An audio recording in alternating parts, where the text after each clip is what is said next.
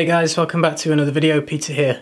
Today's video is by Illuminum, it's called White Gardenia Petals. This apparently was worn by Kate Middleton uh, when she became princess, when she married uh, Prince William.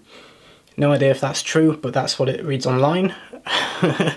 it's basically a white floral, it's very minimalist and simple.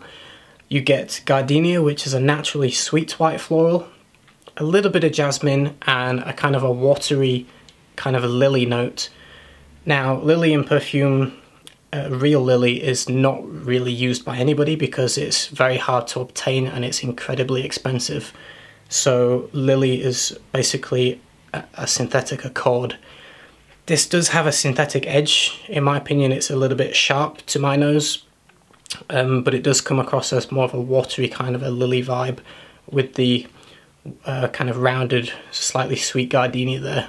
There is something about it that creates a soapy effect, almost like white washing machine powder or a, a nice bar of soap. And that's kind of it. I mean, it really doesn't do anything, it doesn't change.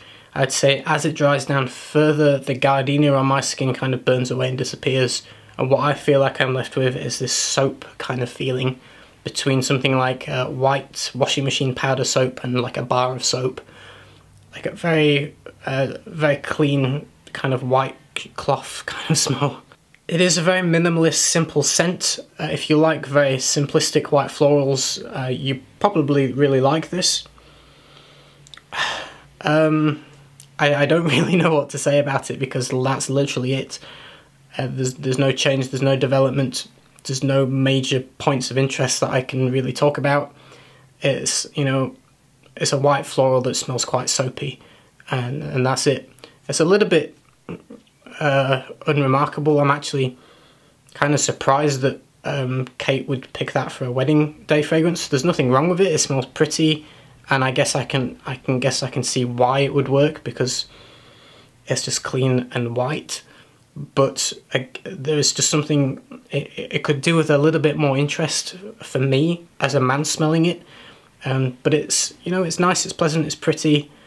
Uh, just very, very simple. In terms of performance, my skin was about six hours longevity with about an hour of a soft projection. This doesn't push off very far. It is more of a personal scent.